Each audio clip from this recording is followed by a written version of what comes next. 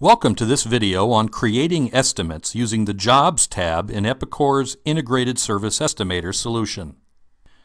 To begin, we'll look up parts and labor from the Jobs tab. Then we can choose a system and the type of work that needs to be performed.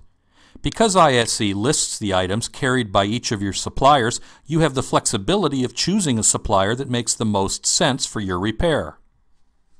Select the parts and labor needed to complete the repair.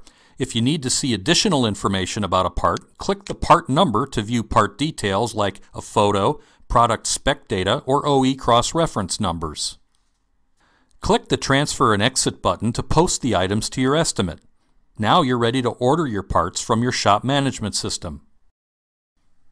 Are you interested in learning more? Contact us to learn how to get the Epicor Integrated Service Estimator Advantage.